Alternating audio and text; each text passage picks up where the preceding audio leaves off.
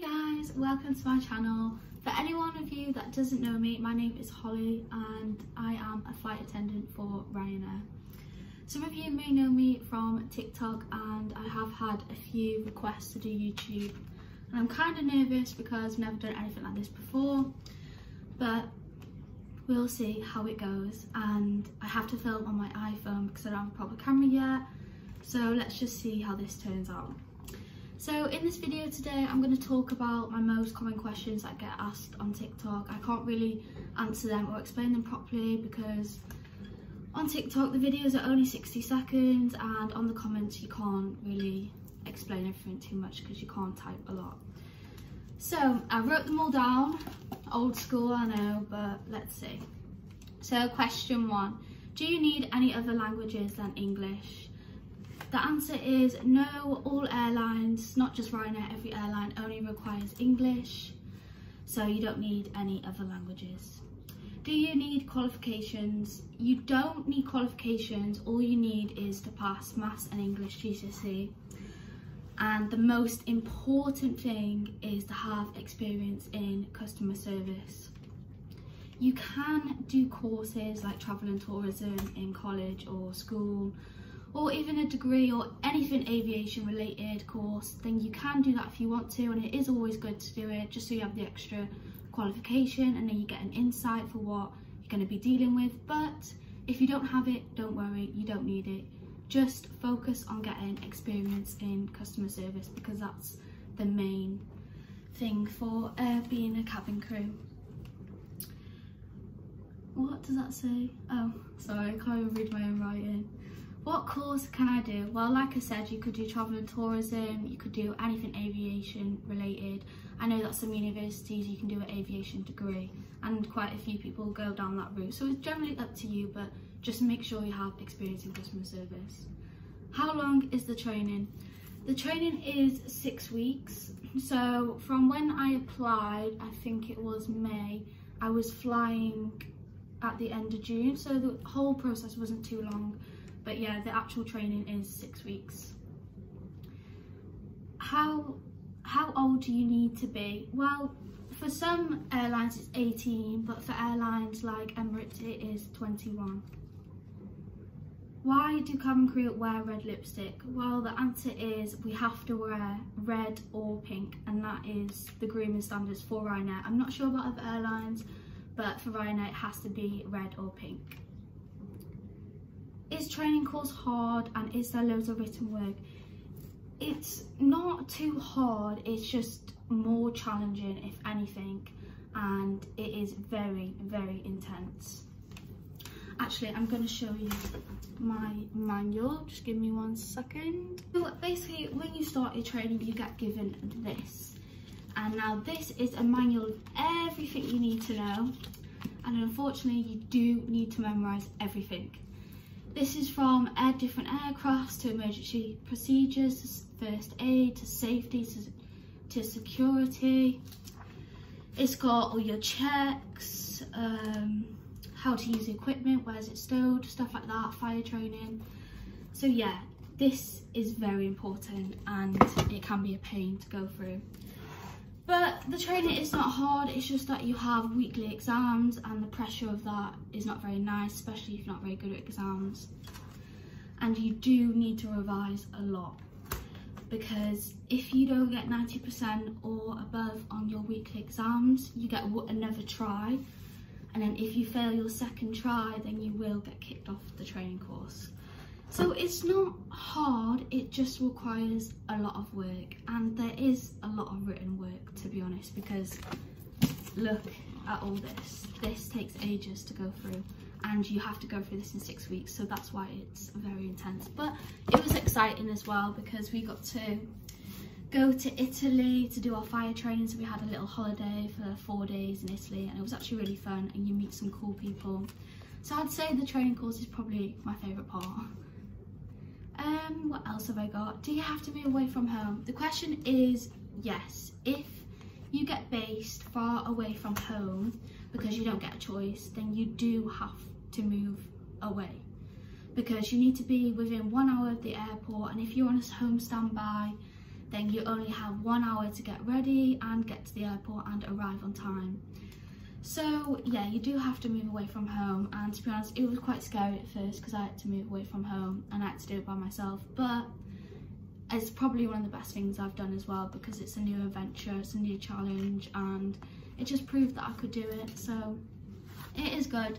And if you are really unhappy with your base, you can ask for a transfer. There is a waiting list, but you can ask for a transfer. Um, what else have I got? Do you need high grades in maths and English? You don't need high grades in maths and English, you just need to pass it. Whether it's a C, whether it's a B, whether it's an A, it doesn't matter. Just make sure you pass. How did you apply? Well, you can apply on Indeed or you can apply via the airline website. So for example, I applied on Indeed, but you can apply on the Ryanair website as well. Do you have to have a certain hairstyle? We have grooming standards and if you've got long hair like I have, it has to be in a donut all the time. Hairsprayed, no pieces hanging out, all clipped back, nice and neat. But if you have short hair like a bob, like up to here, then you can keep it down. But it is a donut because otherwise you get told off by the grooming lady if your grooming isn't up to standards and then that'll be on your record and then that affects you from moving up in the rank in Ryanair so it is quite important it's it can be annoying but it does look neater so I understand how many flights per week well we can do in a week. Let me see now. Four eight, 12, can be up to 20 flights per week or as little as four or six. Because the thing is with short haul airlines like Ryanair, EasyJet, um, basically we go there, we land, we don't stay there for long. With Ryanair it's 25 minute turnaround and then we go back again because it's only short haul. So technically we don't actually get to stay in the country. That's why we can do up to 20 flights per week. Some days it'll be four flights a day, some days it'll be two flights a day. Either way, it's still fun, but yeah, it's nothing like long haul cabin crew, if that's what you wanted to do and get off. But it's still it's still really fun. And also in our five days of working, we can have a standby, a home standby. So that means you basically just sit at home and if you get called, if they need you or someone phones in sick, then you'll go there and do the flight instead. So it all depends on your standbys and it depends whether it's summer and it depends whether it's winter because obviously summer is crazy and we do more flights in the summer. Do you have any tips on being cabin crew? My main advice would be make sure you have experience in customer service because that is the one question they're going to ask you in your assessment day.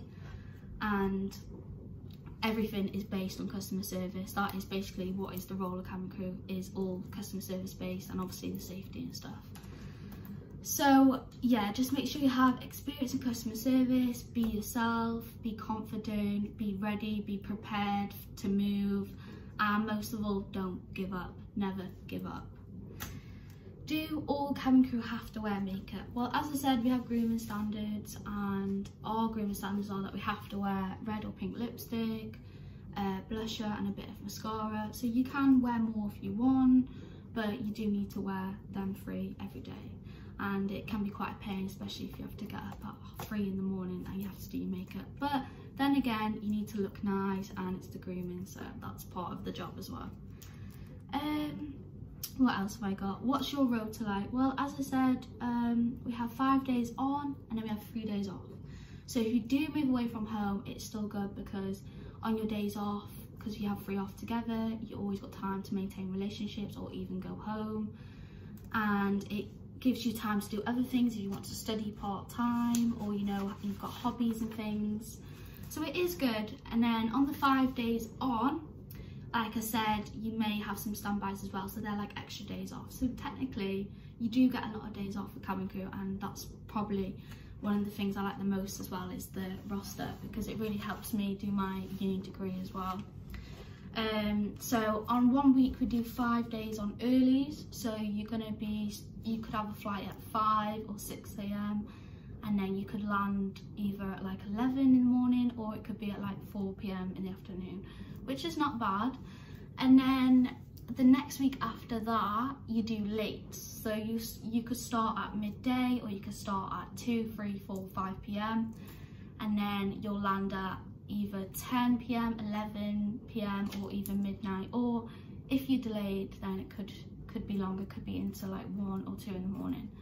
But it's not bad because if you start work, let's say at five in the morning and then you're delayed and you don't get back till 6 p.m. the next day, you'll be out of hours for the next day. So you get that day off because it's illegal really to, um, because she needs your 12 hours rest. So that's another good point as well with delays, but obviously delays aren't always fun. So yeah if you do have any more questions then i'm happy to answer them and i'll do another video. But i'm quite excited for this channel. I'm going to be doing stuff like my hairstyles for work my makeup for work what i do on a day-to-day -day basis what the training like explain all the training and everything. So if you do want to watch and listen then please subscribe to my channel and yeah i'll hopefully updating videos every week. Hope you enjoyed it